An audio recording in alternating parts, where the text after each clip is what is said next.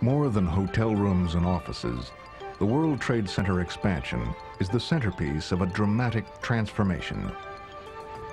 The Seaport District will become one of Boston's most distinctive and vibrant areas.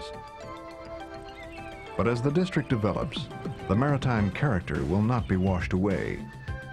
The working docks will become once again part of downtown Boston's daily life.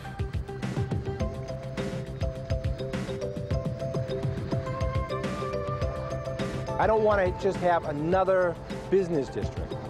I want to have something that takes advantage of the water and makes it accessible and enjoyable so that people can spend time here comfortably and in fact work here comfortably and live here comfortably.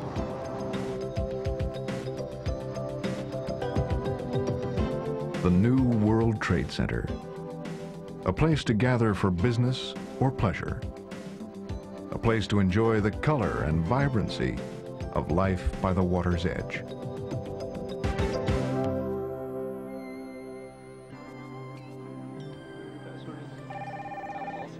It makes a lot of sense, especially now.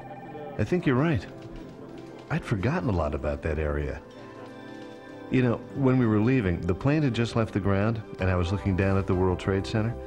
I could really see what they were talking about.